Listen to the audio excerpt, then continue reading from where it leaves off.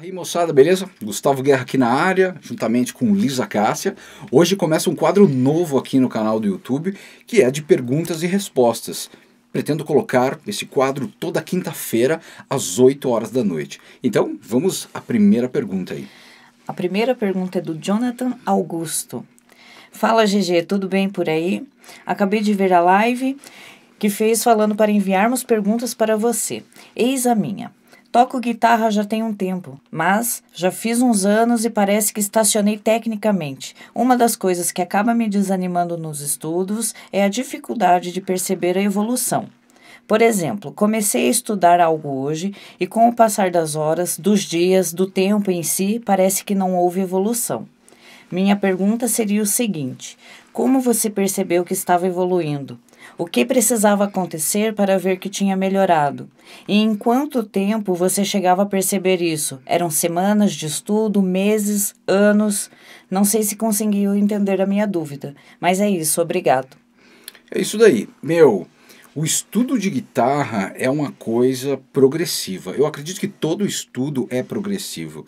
Meu, pensa uma coisa para uma pessoa se formar, certo? Seja ela um médico, um advogado, qualquer área, meu, sabe quantos anos de estudo é? Nossa, são vários anos, desde quando você entrou pela primeira vez na escola até você terminar a faculdade, pós-graduação, ou seja, a gente nunca para de estudar levou anos para essa pessoa se formar. E na guitarra não é diferente. As coisas não vão acontecer da noite para o dia. Você precisa ter estudos de forma diária para que você tenha evolução. Mas é logo que você acaba não percebendo essa evolução. Isso também acontece comigo. Mas, meu, é que nem um copo d'água. Cada gotinha, você vai ver que esse copo, uma hora, ele vai transbordar. É como uma escada, um degrau após o outro. Mas eu comecei a entender a minha evolução com meses e meses de estudo, né? Anos. E até hoje eu tenho muito que melhorar, né? A pergunta agora é do Vinícius Lourenço, de São Paulo. Salve, Gustavo. Eu queria saber como foi para você lidar com as frustrações ao se sentir, se é que já se sentiu, estagnado na guitarra. Tenho 17 anos e estudo guitarra todos os dias. E às vezes, não sentir uma evolução, não fico muito bem. Compartilhe a sua experiência conosco. Parece que essa pergunta foi a mesma da anterior, assim, na pegada. Meu, claro, até hoje, às vezes eu me sinto puxa, que eu não consigo fazer alguma coisa. Meu, eu não sou assim uma máquina. Tem certos elementos que eu tenho muita dificuldade. Eu vou lá buscando, estudando, mas é como a nossa pergunta anterior também é muito parecida. Eu já tive e tenho até hoje. O lance é não desistir, sempre persistir ali que uma hora as coisas vão acontecer, né?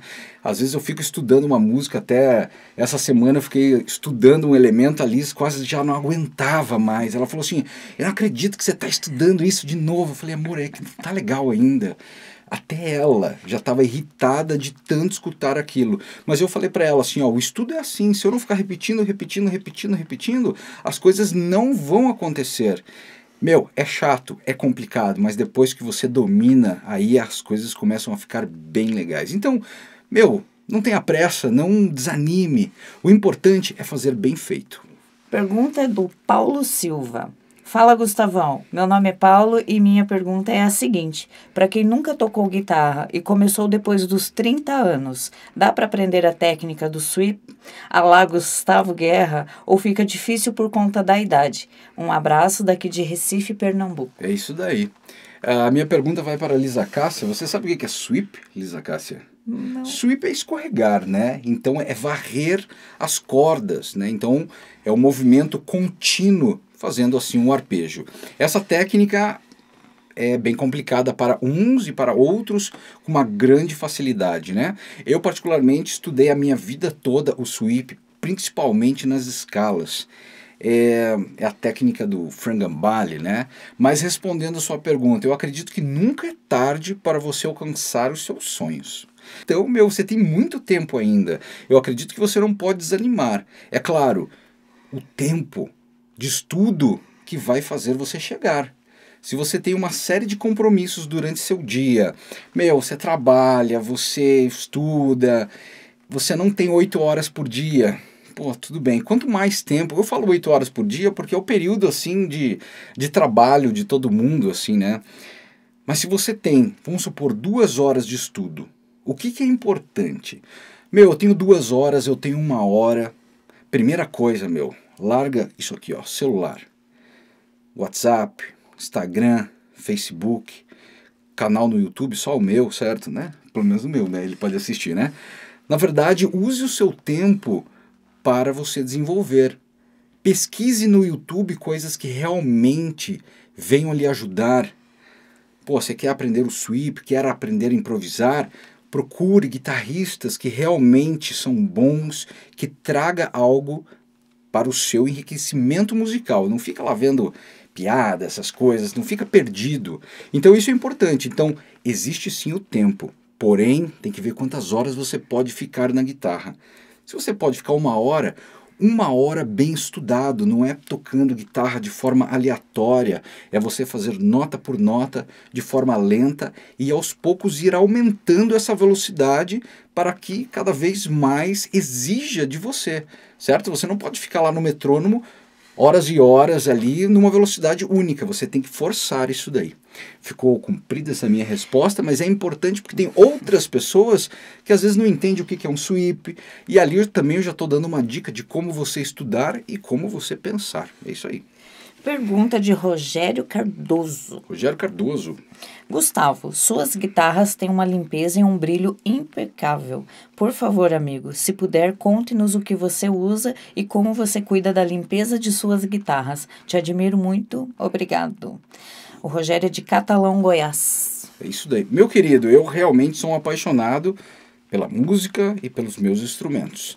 Meu, não tem muito segredo, eu passo um pano nelas, na real, assim. Quando você vê as minhas guitarras nos vídeos, que tem um brilho, meu, são as luzes, né? Tem uma luz aqui, tem uma luz ali, então é claro que a iluminação, as bichinhas, né, aflorescem ali. Mas aí você fala assim, não, Gustavo, conta o que, que você passa na guitarra. Meu, no corpo da guitarra eu passo lustramóveis, um pouquinho lá de lustramóveis, não muito, ali, pá, é, atrás do braço, na escala do instrumento, quando o instrumento tem a escala escura, digamos um rosewood ou um ébano, eu pogo, eu pogo, sabe, eu pogo. eu pego um pouquinho de óleo de peroba, mas não assim no encharco, é só um pouquinho, só para dar uma ali, um esqueminha ali, depois eu passo um paninho seco, basicamente isso daí. Nas guitarras de madeira clara, geralmente eu passo lustramóveis mesmo. Na real, eu não tenho nenhuma guitarra com escala clara. Será que eu tenho aqui? Eu não tenho nenhuma com escala, com escala clara, então basicamente é um pouquinho de óleo de penábias, né? Basicamente é isso. Na corda eu passo gimo silicone, então você pode comprar isso daí em mercado e tudo mais, que você pega um pouquinho assim, passa nas cordas, depois um paninho seco, é isso daí. Aí você tira as marcas de mão e tudo mais assim. Eu limpo minhas guitarras sempre que eu termino de tocar. Pergunta de Andrews Fernandes. Não é Andrews? Eu acho que é Andrews. Mas é legal também. Andrews. Fala Andrews. Andrews. Olha só, fala assim. Então começa de novo, vamos ver. Pergunta de Andrews oh, Fernandes. Né? Mas eu acho que era Andrews mesmo. É. Então, Pergunta beleza. de Andrews. Sou de Porto Alegre e estou trazendo a minha bah. dúvida para que, se possível, você possa esclarecê-la. Gostaria que você explicasse qual a regra para a aplicação da menor harmônica, pois vi o último vídeo em que você tira o solo do Dream Theater e não entendi o porquê daquela escala naquela tonalidade. Abração. É, primeiro, é, você errou o nome da banda, certo? Que não é. Eu errei. É, você fala Dream Theater, certo? Dream Theater. Você fala assim, ah, pô, o que, que você gosta de tocar, velho? Eu gosto de trocar de Gintite, gosto de Sinfinex, essas coisas assim, né? Tem que ter a malandragem pra falar, né? Ah, tá. É, Eu prometo Dream, melhorar. Dream Tite. Dream tá? Beleza. Tá. Meu, escala menor harmônica, existe vários conceitos para essa escala, certo? Mas vamos aqui a mais simples e a como foi utilizado naquele solo. Sobre o acorde maior, saindo da sua quarta justa, vamos supor, você tem a nota Lá como tônica, a quarta justa do Lá seria a nota Ré, beleza? Sendo assim, você irá aplicar a escala de Ré menor harmônico sobre o acorde de Lá maior, onde o Ré menor harmônico tem como a sua sétima maior, sendo a mesma nota que a terça maior do acorde na fundamental, beleza? Sou o Lucas Lima Não era Almeida? É, mas tá bom, né? Então é Lucas Lima Almeida, né? Vai, vai tudo ali, Ah, né? um grande admirador de suas técnicas. Obrigado. É um grande prazer poder participar e interagir diretamente com você. É isso aí. Minha pergunta é a seguinte: por que a música gospel revela tantos cantores, mas o mesmo não se pode dizer dos músicos? Certo. O que você acha que falta ou que precisa para mudar? Meu, sempre o passarinho, o passarinho sempre vai aparecer mais que o músico. Então é a forma, o passarinho que eu digo é o cantor, certo? O passarinho canta. Então, meu, não adianta. O passarinho é o cara que vai aparecer muito mais. O músico pode ser que ele não tenha aquela fama como um cantor, mas ele vai conseguir muitos trabalhos por fora. Meu, mas é difícil. É a, é a mídia, é a venda, é, é muito mais popular, muito mais vendável uma pessoa cantando do que apenas um instrumental. Então é claro, quando eu escolhi ter a minha carreira mais voltada para a música instrumental, visto que eu não sei cantar nada, então eu pego um pequeno nicho de pessoas, mas o nicho é muito grande. Enquanto a partida, né, em contrapartida, o vocal sempre vai, sempre estará lá em, em evidência. É a mesma coisa, uma banda super famosa, só que tem um vocalista só. Saiu da banda, né? Já dá aquela capengada, né?